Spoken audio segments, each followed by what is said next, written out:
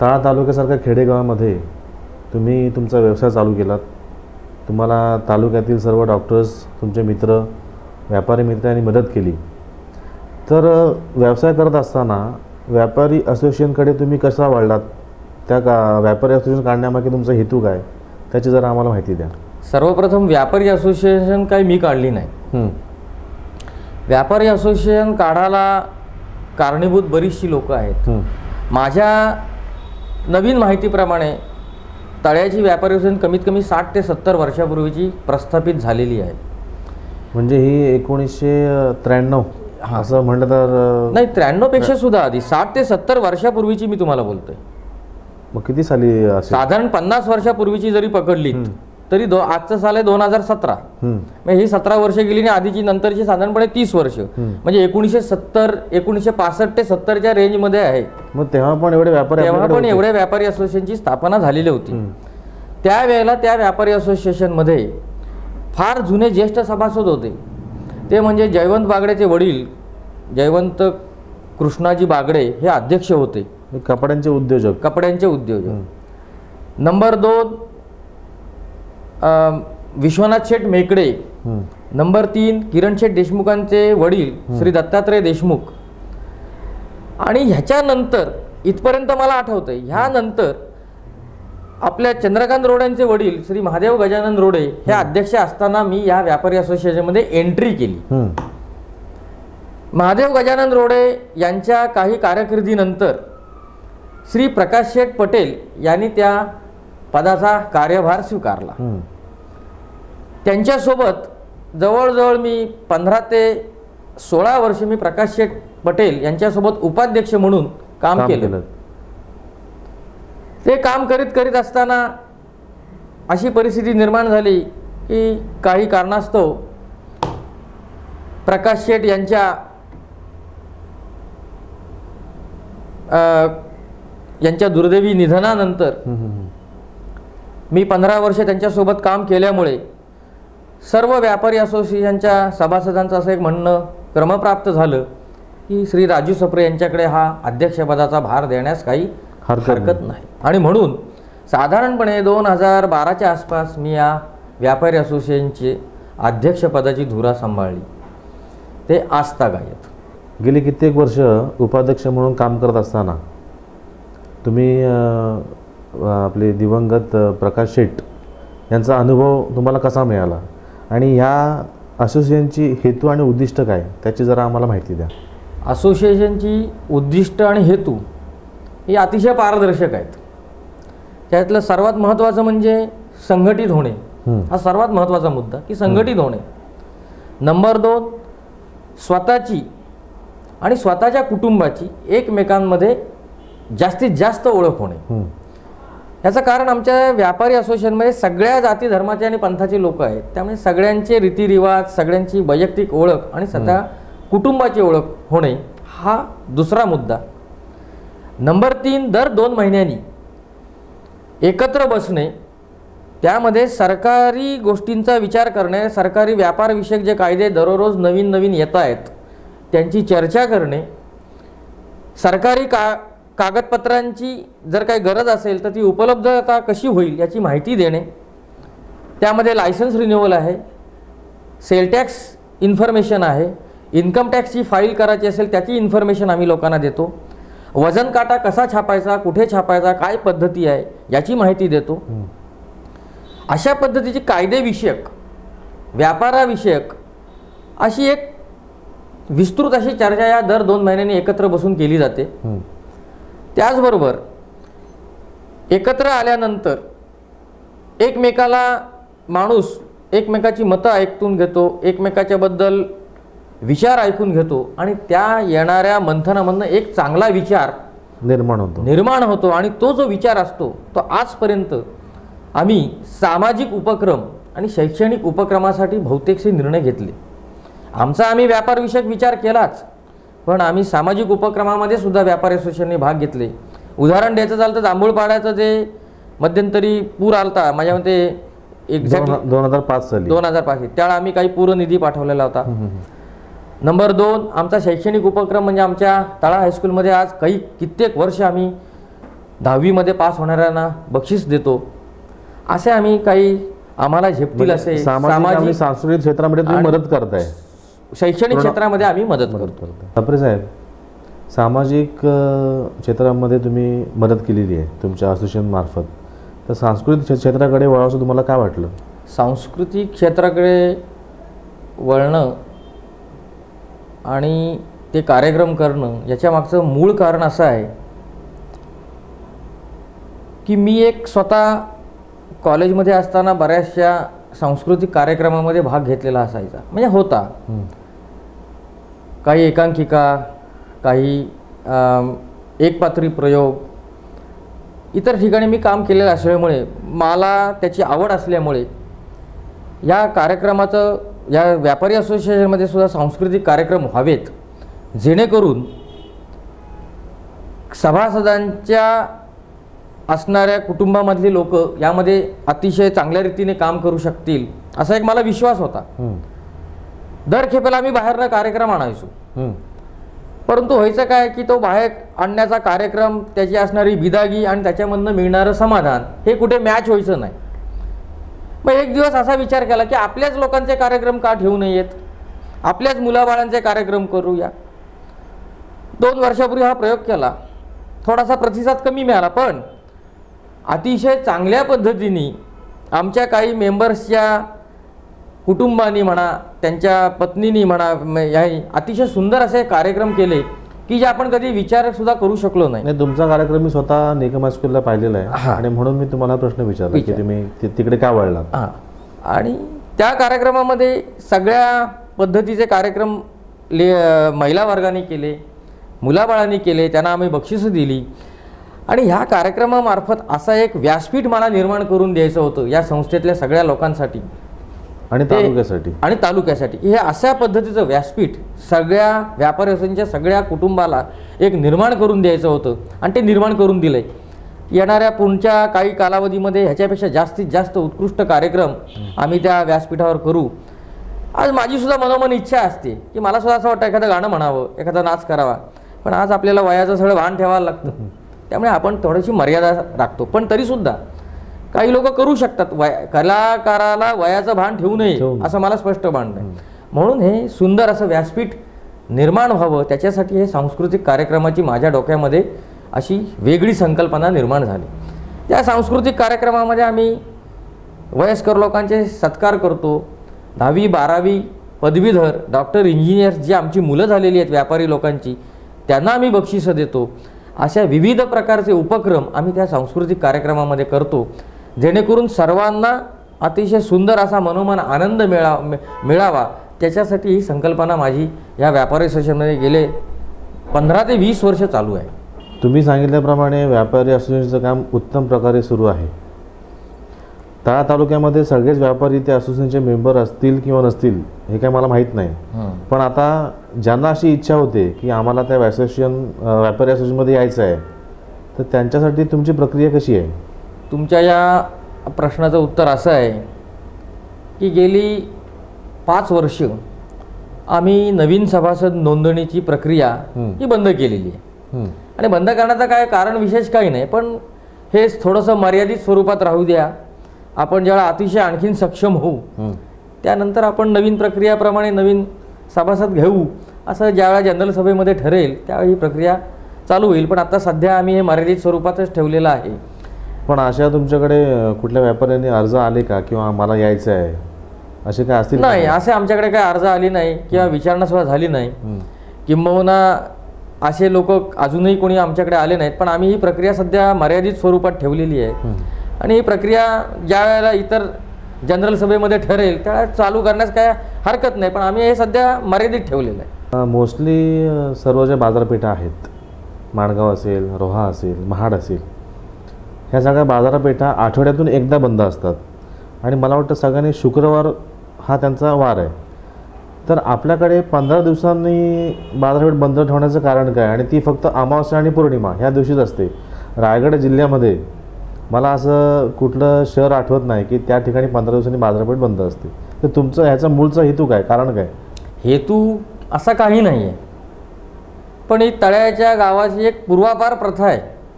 पूर्वीपासून चालू आहे. पूर्वीपासून अध्यक्ष. होण्याच्या आधीपासून. की अमावस्याला पूर्वीच्या काळी फक्त एकदा महिन्यातनं एकदा अमावस्यालाच फक्त दुकानं बंद असायची. महिन्यातून एकदा. महिन्यातनं एकदा. पण गेले दहा पंधरा वर्षापूर्वी एक असा निर्णय घेण्यात आला की आता महिन्यातनं दोनदा सुटी घ्यायला काही हरकत नाही. मग अमावस्या घेतल्यानंतर पौर्णिमेला बंद करूया. म्हणून तो गेल्या दहा पंधरा वर्षापूर्वी हा एक निर्णय घेण्यात आला की महिन्यातनं दोनदा. म्हणून अमावस्या आणि पौर्णिमा ह्याच्या मागचा कुठचा उद्देश नाही काही हेतू नाही. जादू पण टोणा वगैरे हा वगैरे हा काही प्रकार नाही. अंधश्रद्धेला आपण काही वाव देत नाही. आपण आता सगळे सुशिक्षित आहोत. फक्त एवढंच की पूर्वापार जी प्रथा होती तीच प्रथा आम्ही फक्त चालू ठेवली. त्याच्या मागचा एक मूळ कारण की जसं तुम्ही म्हणालात की काही ठिकाणी आठवड्याला बाजारपेठ बंद असते. आठवड्याला बाजारपेठ बंद ठेवणं तळ्याच्या मार्केटला परवडण्यासारखं नाही आहे महिन्यातनं चार दिवस बंद. हे तळ्याच्या व्यापाऱ्याला बंद ठेवणं परवडणार नाही. म्हणून महिन्यातनं दोनदा हे ठीक आहे. त्याच्यामागचा उद्देश एक आहे की ह्या इथल्या ग्रामीण विभागामधल्या लोकांना अमावस्या आणि पौर्णिमा ह्या गोष्टी सहज डोक्यात शिरतात. म्हणजे लक्षात राहतात. पण त्यांना आपण म्हटलं ना बाबा पंधरा तारीख किंवा वीस तारीख हे लक्षात राहत नाही. नाही पण कसं आहे तुम्ही तुमच्या शहराच्या बाजूच्या ग्रामीण भागाचा विचार केलात. पण आता समजा एखादा रोह्यातून येणारा व्यापारी आहे महाडमधून येण- येणारा आहे. त्यांना कळत नाही आज अमावस्या आहे ते इकडे आल्यानंतर त्यांना कळतं बाजारपेठ बंद दिसलेली आपल्याला परत जायला लागतं. तर त्याच्यामुळे बाहेरच्या लोकांचं नुकसान होते त्याच्याबद्दल काय सांग त्याच्याबद्दल? असं आहे की जनरली जे काही स्टॉकिस्ट आहेत त्यांना आम्ही लेटर्स दिलेली आहेत ऑलरेडी प्रिंट काढून की अमावस्या पौर्णिमेला मार्केट बंद असतं. नंबर दोन काही वेळेला आमचे दोन ठिकाणी बोर्ड लागतात मार्केटमध्ये की बाबा उद्या अमावस्या आहे या कारणानिमित्त तळा बाजारपेठ बंद राहील. असे आम्ही बोर्ड दोन ठिकाणी लावतो एक त्या नाक्यावर एक किरणशेच्या दुकानाच्या परमनंट लिहिलेलाच असतो. त्यामुळे लोकांचा अमावस्या पौर्णिमेबाबतचा तसा काही विशेष मार्केटला संभ्रम नाही आहे. उलट किमान पक्षी लोकांना तारखेचा संभ्रम होऊ शकतो. आणि लोकांच्या ते काही लक्षात राहत नाही. त्यामुळे अमावस्या पौर्णिमाच हा लोकांना रास्त पर्याय वाटतो. म्हणून पिढ्यानपिढ्या चालू असलेला पर्याय आहे की अमावस्या आणि पौर्णिमा मार्केट बंद ठेवायचं.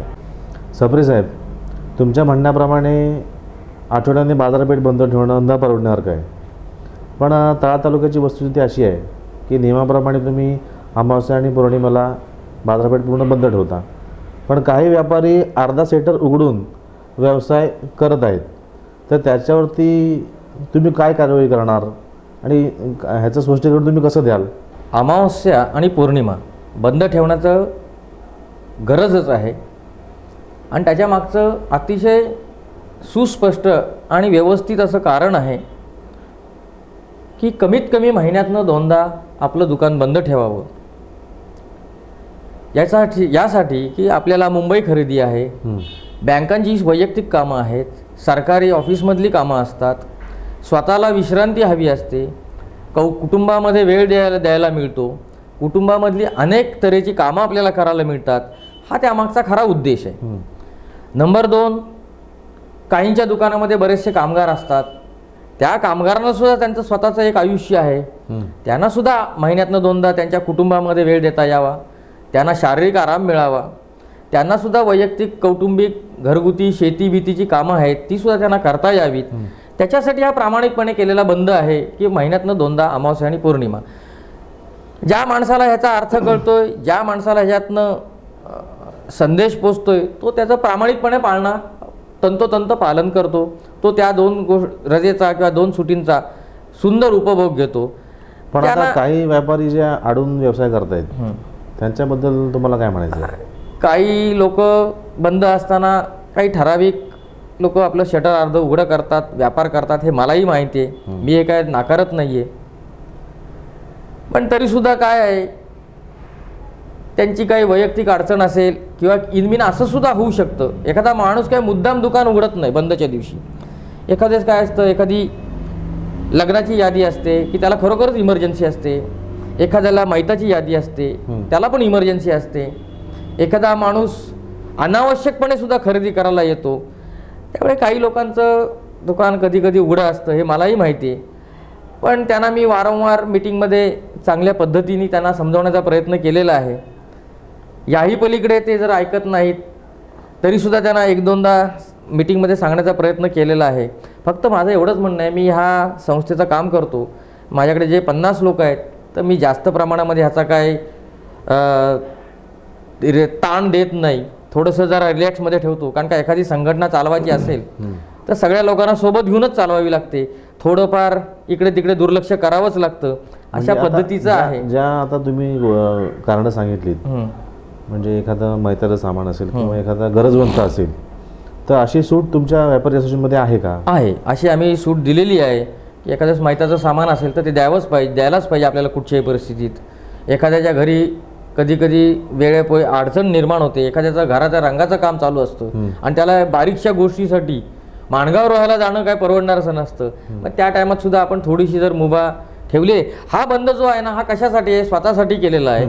लोकांसाठी बंद केलं की लोकांची गैरसोय व्हावी म्हणून बंद नाही आमचा हा बंद जो आहे हा कशासाठी आहे? लोकांची गैरसोय व्हावी म्हणून नाही. लोकांची सोय झालीच पाहिजे. स्वतःला आराम आणि स्वतःची कामं खरेदी व्हावी. असं काही जाणीवपूर्वक नाही. फक्त स्वतःसाठी केलेलं आहे. कधी कधी लोकांना साफसफाई करायची असते दुकानाची.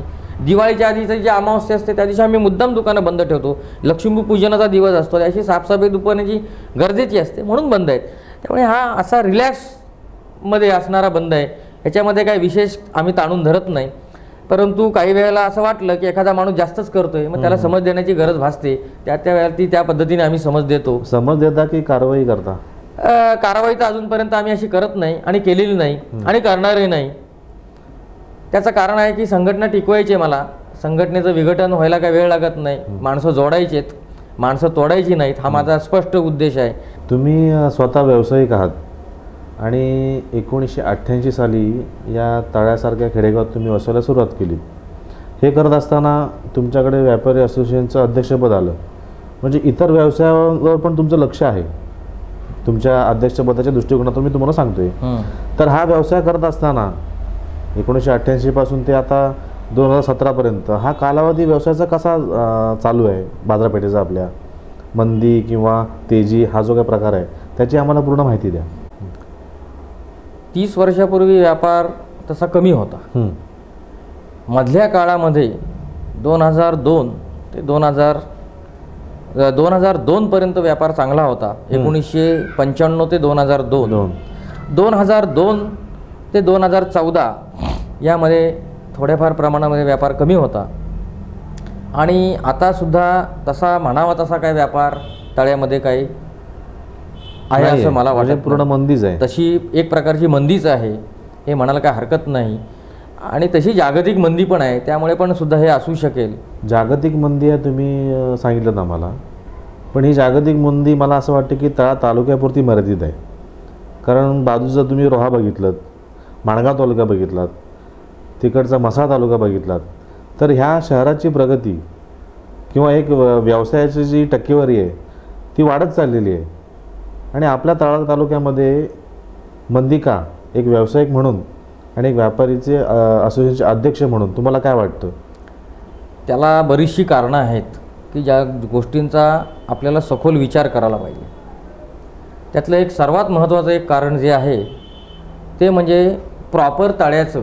आणि आजूबाजूच्या परिसरातली लोकसंख्या ही लोकांच्या स्थलांतरामुळे कमी झालेली आहे.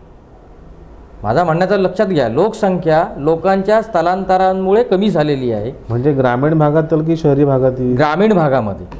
ग्रामीण भागामध्ये आज जर तुम्ही बघायला गेलात तर बहुतांशी घरं बंद आहेत. तरुण महिला वर्ग आणि तरुण वर्ग हा ग्रामीण विभागामध्ये काही विशेष नाही आहेच हं. याचं कारण काय? की हा संपूर्ण तरुण वर्ग तरुण महिला वर्ग हा मुंबईला स्थलांतरित झाला. त्यांनी शिक्षण घेतलं इथे. त्यांना नोकरी आणि चांगल्या प्रमाणात विपुल रोजगार हा त्यांना मुंबईकडे मिळायला लागला इतर शहरांमध्ये मिळायला लागला. त्यामुळे ग्रामीण विभागामध्ये हा जनरेशन राहिला नाही. मग तुम्ही म्हटल्याप्रमाणे दोन हजार नऊ दोन साली.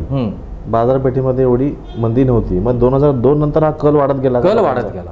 लोकांचं स्थलांतराकडे कल वाढत गेला. लोक म्हणजे शहराकडे शैक्षणिक दृष्ट्या आणि उदरनिर्वाहाच्या निमित्ताने लोक मुंबईला गेले. मुंबईला गेले. हे मूळ कारण आहे. मूळ कारण. त्याचं कारण काय? की लोक इथे पदवीधर झाले. तरुण वर्ग पदवीधर झाला मुली शिकल्या मुली पदवीधर झाल्या त्यांची ज्या लग्न झाली तेव्हा त्यांनी आपोआप शहराकडे त्यांना आकर्षण निर्माण झालं. आणि मुलांना प्रत्येकाला हल्ली शहरामध्ये आकर्षण आहे. तिथे मिळणारा विपुल रोजगार इतर फॅसिलिटीज त्यामुळे तरुण वर्ग शहराकडे आकर्षला गेला. त्याचं कुटुंब शहरामध्ये तयार झालं. त्याचं नेक्स्ट जनरेशन शहरामध्ये तयार झालं. म्हणून आज जर बघायला गेलात तर शाळांमध्ये सुद्धा मुलांची संख्या काय विशेष नाही आहे ग्रामीण विभागामध्ये मी बऱ्याचशा ठिकाणी जातो. त्या ठिकाणी वयस्कर लोकांशिवाय कोणी नाही आहेत आज अशी परिस्थिती तुम्ही सुद्धा स्वतः तुम्ही सुद्धा एका भानंगोंडचे रहिवासी आहात. तुम्हाला सुद्धा तुमच्या गावाची परिस्थिती माहीत असेल. नंबर दोन जे कोण ग्रामीण विभागामध्ये म- वयस्कर लोक राहत आहेत. त्यांनी सुद्धा शेती व्यवसायाकडे तरुणांनी तर केलेलंच आहे पण त्यांनी सुद्धा शेती व्यवसायाकडे थोड्याफार प्रमाणामध्ये दुर्लक्ष केलेलं आहे. की ज्याच्यामधनं त्यांना खरा चलनाची प्राप्ती होऊ शकते पण ते सुद्धा शेती व्यवसाय काही करेनासे झालेले आहेत. त्यांचं सुद्धा जीवन संपूर्ण मुंबईवाल्यांच्या येणाऱ्या उत्पन्नावरती अवलंबून आहे हे त्याच्यामागचं खरं दुसरं कारण आहे. त्यामुळे रोजगार निर्मिती नाही. शेतकरी हा शेतीकडे दुर्लक्ष करायला लागलेला आहे. त्याच्यामधून त्यांना उत्पन्न नाही. याचं कारण काय की शेतीचं उत्पन्न हे अनिश्चित झालेलं आहे. संपूर्ण निसर्गावर अवलंबून राहिलेलं आहे. त्यामुळे लोकांनी शेती करण्याचा सुद्धा व्यवसाय कमी फार प्रमाणामध्ये कमी केलेला आहे. दुसरं पूरक व्यवसाय काही राहिलेला नाही. आज पोझिशन अशी आहे गुरंढोरं खेडेगावामध्ये राहिली नाहीत लोक दुधाच्या पिशव्या नेतात शहरामध्ये येऊन. याचं कारण शेतीला असणारे पूरक व्यवसायसुद्धा बंद झालेले आहेत. त्यामुळे चलनाची कमतरता आहे. वयस्कर माणसांकडे पैसा राहिलेला नाही. त्यामुळे तळ्या बाजारामध्ये खरेदी करण्याची ग्राहकाची क्षमता राहिली नाही. म्हणून तळ्या व्यापारी पेठेमध्ये मंदी आहे. सबरे साहेब तुम्ही सांगितल्याप्रमाणे ग्रामीण भागातील लोकसंख्या कमी झालेली आहे. ही वस्तुस्थिती आहे. पण तालुक्याच्या निर्मितीनंतर या तालुक्यामध्ये शासकीय कार्यालय आली. उदाहरणार्थ पंचायत समिती कार्यालय असेल आपलं तहसील कार्यालय असेल एम एस सी बी कार्यालय असेल कृषी कार्यालय असेल त्यानंतर आपलं पोलीस स्टेशन असेल. ह्या सगळ्या शासकीय कार्यालय वाढल्यामुळे शासकीय सगळे अधिकारी आहेत त्यांचा भरणा पण आपल्याकडे वाढला. तर त्याच्यामुळे आज नियमाप्रमाणे ते इथे राहणे गरजेचं आहे. पण ते इथे राहत नसल्यामुळे दे मुळे देखील आपल्या बाजारपेठेवर त्याचा परिणाम झालेला आहे. तुम्हाला याच्याबद्दल काय वाटतं? ठीक आहे झाला असेल कदाचित. पण सर्वात जास्त जो बदल झाला तो दळणवळणाच्या साधनामुळे. याचं कारण असं की तळ्यामधनं बाहेर पडण्यासाठी विविध मार्ग तयार झाले. तळा श्रीवर्धन तळा म्हसळा तळा रोहा वाली रोहा ह्या बाजूनी इकडनं साई मार्गे लोक श्रीवर्धनला जात आहेत तर असे विविध मार्ग निर्माण झाल्यामुळे जशी लोक तिकडनं येत आहेत तशी तळ्यातनं सुद्धा लोक तिकडे जायला लागली. म्हणजे तुम्हाला असं म्हणायचं आहे की तळा तालुक्यामध्ये दळणवळणाची साधनं वाढल्यामुळे बाजारपेठेत मंदी आली. हां याचं कारण असं आहे की लोकांना नेहमी त्याच त्याच त्याच त्याच ठिकाणी खरेदी करायला थोडासा नाविन्यपूर्ण लागतं. थोडंसं लोक मोठ्या शहरामध्ये जायला आकर्षित होतात. त्याच्याबरोबर त्यांची विविध दुसरीसुद्धा कामं होतात की जिथे होत नाहीत. त्यामुळे पण थोड्याफार प्रमाणामध्ये दळणवळणाची लोकांना सहजगत्या सुरू झालं. लोक सहजगत्या तळा हे कसं आहे पंधरा किलोमीटर आतमध्ये आहे. त्यामुळे इथून इंदापूरला सतत गाड्या आहेत. त्यामुळे इंदापूरला लोक गेली की पुढे माणगावला काम करू शकतात. माणगावमध्ये खरेदी करू शकतात. माणगावपासून पुढे लोक महाडला जाऊ शकतात. इकडे कोलाड मार्गे रोह्याला जाऊ शकतात. त्यामुळे थोड्याफार प्रमाणामध्ये अशाही पद्धतीचा थोडासा बाजारावरती परिणाम होतो. नाही पण कसं आहे एखादा माणूस जेव्हा दळणवळण करून दुसऱ्या तालुक्यामध्ये जातो आणि एखादी वस्तू घेतो याचा अर्थ असा होतो की तुमच्या तालुक्यामध्ये किंवा आपल्या तालुक्यामध्ये रेट जास्त आहेत एखाद्या वस्तूचे. हं. त्याच्यामुळे मग जात असतील. हां. याबाबत तुम्ही सगळ्या म्हणजे ज्या खाद्यपदार्थ असतील आता मिरचीचा आपल्याकडे व्यवसाय चालतो किंवा तेलाचा आपल्याकडे व्यवसाय आहे तर आपल्याकडे रेट जास्त आहेत का? नाही मी तर तुम्हाला सांगतो माझं ठाम मत आहे की तळ्याच्या बाजारपेठेमध्ये एवढी स्वस्तही आहे. खरोखरच स्वस्तही आहे. आणि त्याची कारणं देतो मी तुम्हाला. तुम्हाला पटतील स्वस्त तुम्ही म्हणताय मग तो दळणवळण करून शेवटमध्ये का त्याच्यासाठीच तर मी तुम्हाला कारण सांगतो. आता स्वतःचं स्वाभाविक उदाहरण घ्या. आपण एखाद्या तळ्यामध्ये दररोज एका हॉटेलमध्ये जातो. आपण रोज तिथेच तिथेच खाऊन जेवून जेवून एक दिवस आपल्याला वाटतं ना. माणगावमध्ये जाऊ रोह्यामध्ये जाऊ लोक हल्ली स्वस्त आणि महाग बघत नाहीत. लोक फक्त सोयीचा आणि क्वालिटीचाच विचार करतात. लोक स्वस्त आणि महागाचा विचार करत नाहीत. नाही पूर्ण महिन्यातून एकदा तो जात असेल मग त्याचा त- मंदीवर त्यामुळे लोक कसं- मंदी कशी काय आली नाही लोक? स्वस्ताईचा आणि महागाईचा विचार करत नाहीत. आणि त्याचं कारण स्वस्त असण्याचं कारण मी तुम्हाला सांगतो. जर का लोक एखाद्या ठिकाणी शहरामध्ये गेली तर त्याला एखादी वस्तू आणण्यासाठी सध्या सहजगत्या रिक्षा लागते. म्हणजे ट्रान्सपोर्ट चार्जेस आहेत. नंबर दोन त्याला त्याची हमालीसुद्धा पडू शकते मोठ्या प्रमाणात असेल तर. नंबर तीन त्याला ती सहजगत्या उपलब्ध डिस्टन्सचा पण अन- फरक जाणवतो. पण ते जर तळ्यात एखादा माणूस राहिला तर आज तळ्याचा सारख्या ठिकाणी कुठचीही गोष्ट सहज उपलब्ध आहे आणि अतिशय जवळ आहे. तिथे ना ट्रान्सपोर्टेशनचा चार्जेस ना हमालीचे चार्जेस आणि सगळ्या गोष्टी जवळच्या जवळ आहेत. आज इव्हन बँका सगळ्या जवळ आहेत. तहसील ऑफिस जवळ आहे. बाजारपेठेत तर काय घरातनं उतरला की माणूस बाजारपेठेमध्ये येऊ शकतो. दवाखाने सगळे जवळ आहेत. त्यामुळे अतिशय स्वस्त आणि सहज बाजारपेठ तळ्यामध्ये लोकांनी उपलब्ध केलेली आहे. स्वस्त आणि महाग हा हल्ली लोक विचार करत नाहीत. तुम्ही आम्ही सुद्धा बघा कुठेही गेलो तरी स्वस्त आणि महागचा विचार करत नाही. आपल्या स्वतःच्या सोयीचा विचार करतो. आपण आपल्या स्वतःच्या सुविधेचा विचार करतो. आणि तळ्यामध्ये तशी स्वस्ताई आहे असं मला वाटतं. सप्रे साहेब तळा बाजारपेठेमध्ये अशीच जर मंदी चालू राहिली तर एक व्यापारी असोसिएशनचे अध्यक्ष म्हणून या अडचणीवर तुम्ही कशी मात कराल? यावरती या असणाऱ्या अडचणींवरती मात आम्ही सर्व व्यापारी ग्राहकाला अतिशय दर्जेदार माल आणि रास्त भावामध्ये स्वस्त नाही रास्त भावामध्ये स्वस्त देणं म्हणजे तोट्याचा धंदा. रास्त भावामध्ये देण्याचा प्रयत्न करू सर्व मालाची आणि सर्व प्रकारच्या गरजेची अस गरज असणाऱ्या वस्तूंची तळा बाजारपेठेमध्ये सहज उपलब्धता करून देण्यात येईल. काही ठिकाणी काही वेळेला घरपोच सुद्धा सेवा देण्याचा आमचा प्रयत्न आहे आणि आज आमचा तो प्रयत्न चालूच आहे. त्यामुळे लोकांना अशा पद्धतीची चांगली सेवा आम्ही सगळे समस्त व्यापारी देण्याचा प्रयत्न करत आहोत आणि करत राहू. जेणेकरून आमच्या या तळा बाजारपेठेवरची असलेली मंदीचं सावट हे दूर निघून जाईल. आणि चांगल्या पद्धतीने व्यापार करण्याचा प्रयत्न करू. मागील पाच वर्षाची आपण तळा तालुक्याची परिस्थिती बघितली तर उदरनिर्वाहासाठी तरुण मंडळी स्थलांतरित झालेली आहेत. गावातील शेती ओसाड पडलेल्या आहेत. शाळा बंद पडण्याच्या मार्गावर आहेत. आणि त्याच्यामुळे तालुक्याची विशेष प्रगती झालेली नाही. तालुक्याच्या प्रगतीसाठी सरकारी यंत्रणा याच्यावरती काय पावले उचलते हा खरा सर्व तळेवासींना प्रश्न पडला आहे. सप्रे साहेब आपण आपला अमूल्य वेळ काढून इथे आलात. तुमच्या व्यास व्यापारी असोसिएशनची आम्हाला माहिती दिलीत. तुमची ध्येय धोरणं सांगितलीत. तुमच्या व्यापारी असोसिएशनला यश प्राप्त हो अशी मी व्ही सी एन न्यूजच्या वतीनं तुम्हाला शुभेच्छा देतो आणि इथं आल्याबद्दल आभार मानतो. त्याप्रमाणे आमच्याकडून एक तुम्हाला भेटवस्तू त्याचा तुम्ही स्वीकार करा. धन्यवाद.